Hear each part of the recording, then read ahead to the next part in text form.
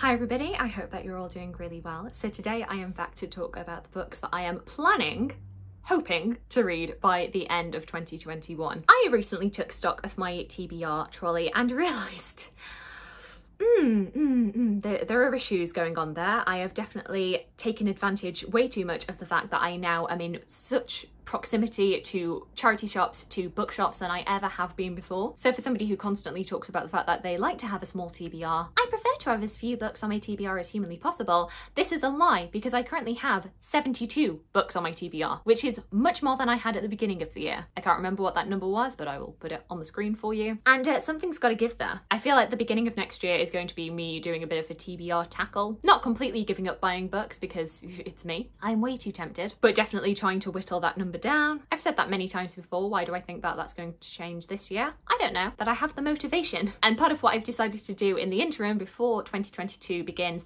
is that I have turned round all of the books that I definitely know that I don't want to read by the end of the year, which was kind of a hard decision to do. I've turned them around so that their pages are showing, which is something I've seen other people do on their bookshelves and I absolutely despise, but I feel like it's good for me with my TBR because it just highlights the books that I want to read right now. And then the books that I want to try and prioritize in the next few weeks have their spine showing. I will say there are way too many books here than I can actually feasibly read in the next five weeks. But you know, have to be an optimist about things. And then when it gets to the new year, we, we can tackle the TBR together. It'll be fine nah. So yeah, I thought I would go through those 16 books, I want to say, that I want to attempt to try and read by the end of the year.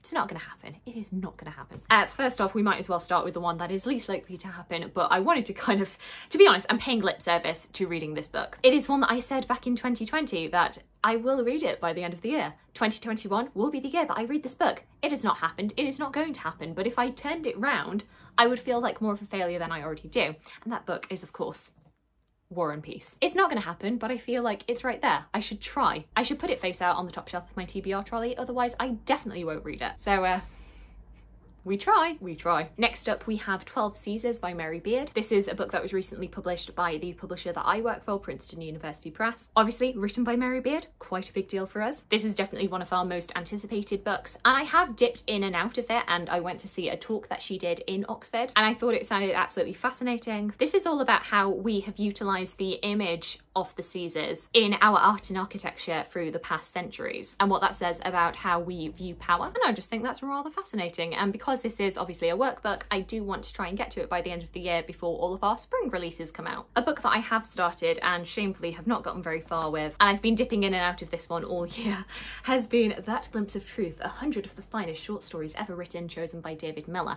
This was one that was kindly gifted to me for my birthday from Rosie over at Sparkles Books. And I did start reading one of these a day, and I just didn't keep going. As you can see, it's quite a chunky book. So I feel like it's definitely not one that I'm going to finish before the end of the year, but I'd like to give a go. And then of course it wouldn't be an end of the year TBR without talking about a couple of Christmassy books. So for that I have got Last Christmas which is curated and introduced by Greg Wise and Emma Thompson. I think kind of inspired by the film. This is just a lot of different celebrities talking about their experiences with Christmas, like memorable Christmases that they've had. And then also we have The Penguin Book of Christmas Stories edited by Jessica Harrison. Just some classic and contemporary Christmas stories. So between these two I feel like I'll be very well served for Christmas. Then next up we have Cecily Neville Mother of Kings by Amy Licence. As you might already know, I read the fiction book Cecily by Annie Garthwaite back in August, I want to say, and I really enjoyed that. And because I was on such a high of reading about Cecily Neville, I wanted to read a non-fiction offering about her life. And so I would kind of like to read this before the end of the year whilst I'm still in that kind of kick of reading about the Wars of the Roses, of reading about Cecily Neville's life. Not to say that I won't be interested in that in 2022, but I feel like this year is when I've been on a high for it,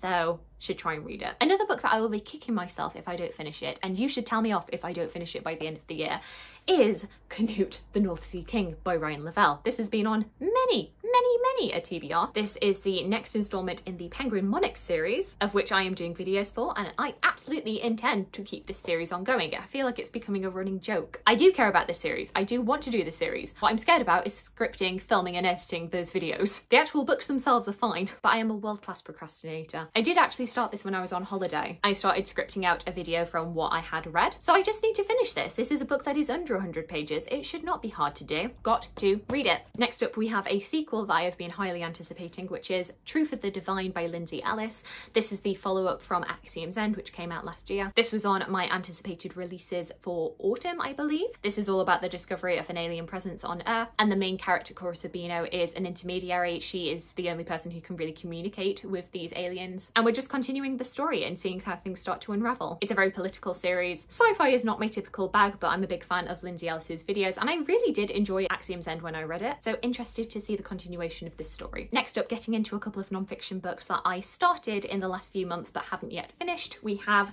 How to Be a Victorian by Ruth Goodman. I got about 92 pages into this. This is one of my Victoria books that I carried into non-fiction November and I've still not picked up. I don't know why because I was really enjoying it. And this book just takes you from dawn to dusk talking about the lifestyle of Victorians. Peppered in are Ruth Goodman's own experiences of living like a Victorian and she kind of gives her own advice on how you should deal with certain aspects of Victorian living. And it's really interesting, really engaging, so I just need to continue it. We also have The King's Painter, The Life and Times of Hans Holbein by Franny Moyle. This is one that I was sent by the publishers and I was very grateful for. I'm about 160 pages into this. I think honestly the only reason that I've not continued on with this is because this is, I think, over, it's over 500 pages long. It is very big and chunky and a big chunky hardback. So it's not the most ideal book to travel around with, but I was really enjoying it. There's some beautiful, beautiful illustration and artwork in here. It's just a stunning book and it's a period of history that I love. So I've got to finish this. A bit of a random one that does have a bit of a Christmas theme to it is The Silent Stars Go By by Sally Nichols. And I'm really sorry, but I've been way too well trained from seven years of secondary school choir and 18 years of going to church every Sunday to not follow on. But in thy dark street shineth the everlasting light. The hopes and fears of all the years are met in thee tonight. I'm sorry. This is a historical fiction book that I picked up kind of on a whim when I went to Daunt Books over the weekend. I believe it's set during the end of the First World War, going into 1919. From what I remember of the synopsis, this is all about a young couple who fell in love, Margot and Harry, but then Harry goes off to fight in the war. He ends up going missing, and then suddenly it's Christmas 1919. Margot has kind of moved on with her life, but then Harry comes back. And I don't know, but I feel like from the cover of the book, a child is going to be involved. Hmm. What a mystery. But because it's set at Christmas, I want to read it now. Then two books that are themed together because they are both book club books that I need to read. Firstly, we have The Picture of Dorian Gray by Oscar Wilde. This is the November pick for the I Should Have Read That book club. Coming to think of that, also The Invisible Life of Addie LaRue should be on this list because that is the December pick. Though, like Picture of Dorian Gray, it is a book that I have read already. Those are both rereads for me, so hopefully I should be able to blast them out quite quickly. But then that is my virtual book club. I've also just joined an in real life book club, which has just been set up with a bunch of my work friends. And this month we are reading Magpie Lane by Lucy Atkins. I think this is a bit of a crime, kind of creepy book. I think we picked it because it's set in Oxford and I know nothing about it, but looking forward to reading it and chatting about it with my work colleagues. And then finally, I've got three books here that I've kept out just because I know that I can find audiobooks for them on Scribd. So if I'm really, really stuck with my reading, I can always listen to the audiobooks of these. They're not high priority, but I wanted to keep them out just in case. We have Anne Boleyn, 500 Years of Lies by Hayley Nolan. As we know, I'm a big fan of Tudor history. I'm a massive fan of Anne Boleyn. She is my favourite of the six wives. Don't at me, I know I'm basic. I've heard very mixed things about this. I've heard some negative reviews about this,